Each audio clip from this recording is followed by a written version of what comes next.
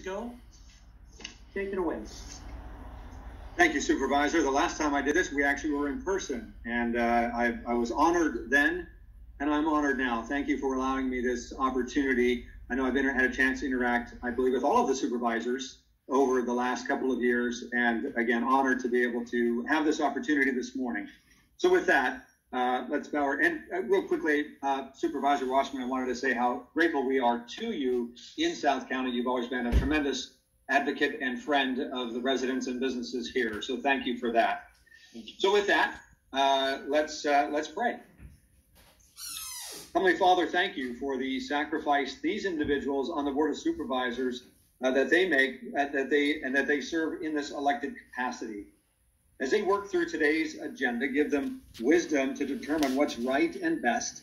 Give them the strength to endure the long hours ahead of them and the understanding of their responsibility to serve their communities.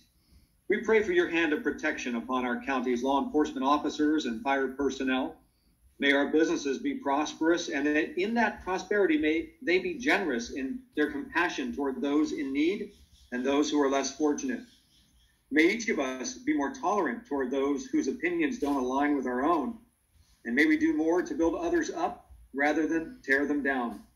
May our eyes be open to the need of others around us, and may we be prompted to respond to those in need. Father, we pray for your continued blessing upon the people, the businesses, and the organizations in our county. We pray these things in Jesus' name. Amen. Thank you very much, Mr. Turner. Um, appreciate that. Appreciate having you as a friend. And uh, please help lead the efforts in Morgan Hill and Gilroy when this heat wave comes taking care of those who can to try and stay cool. Thank you very much, Mark. All the best. Thank you.